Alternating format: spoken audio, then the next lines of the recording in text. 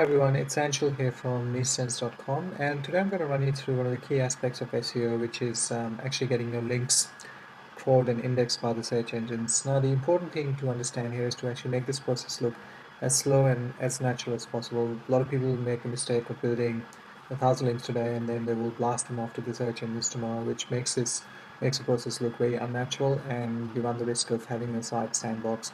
Now Linklicious is one of those services which allow you to actually slowly drip feed your links over a, gradually over a period of time. You can set the limit so you can drip feed 20 links a day or 40 links a day and this will this this makes the process look very natural and search engines love natural link building. They don't want to see uh, thousands of links being blasted off in a single day, which uh, which will naturally be marked as web spam, and you run the risk of having your site sandboxed. Mean, essentially means you will never ever get up in the search rankings ever again. Now, with, when it comes to Linklicious, there's um, three different options. You can either use the the free service, the basic service, and the pro service. Now, the free service is obviously, as I said, it's free. You can you can submit up to 2,500 links a day and the basic service is uh, $14.50 a month uh, which has a slightly high limit and some additional features like you can you can you have a guaranteed indexation rate. So Linklicious will make sure that your links are crawled and indexed. Each and every link, link is crawled and indexed by search engines.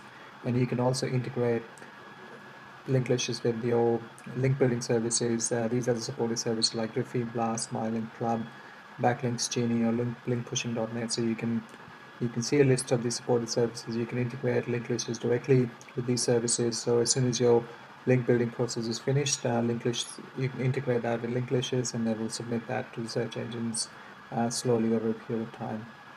So I'm just quickly going to run you run you through a quick tutorial on how to actually submit links using Linklicious so I'm just going to quickly click on add links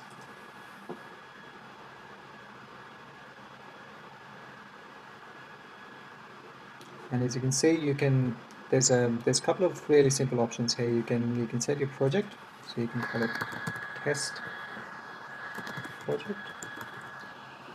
And then the default rate for scheduling these links is 40 per day. I like to set it to 20 I like like this process. As mentioned earlier I like this process to be as natural as slow as possible which search engines will love. And then it's a question of simply copying and pasting your backlinks into this window here I've got a set of links I can copy and paste quickly. So these are a bunch of links I actually created using um, article directory submission earlier and the submission is finished. Now the article directory has given me a list of links which um, link directories which where it's uh, submitted the articles to and then I can just simply copy and paste these links set the rate to 20 and simply go add links. Now once this process starts it will start feeding your links at 20 a day. As I said it's important that you make this process look as slow as possible so don't go beyond. I would recommend in my opinion you would, shouldn't be submitting more than 20 links a day and then you can slowly feed these links to the search engines. So in terms of using the service that's pretty much all there is. It's it's extremely simple and as, as I said if you if you decide to go with a paid option that guarantees that your links get indexed. But if you if you just want to try the service you can just try the free option and see how you find it. And in terms of the usage it's extremely simple simply question of copying and pasting the links. So that's it, that's it for this video. Hope you enjoyed it and I'll see you in the next video. Thank you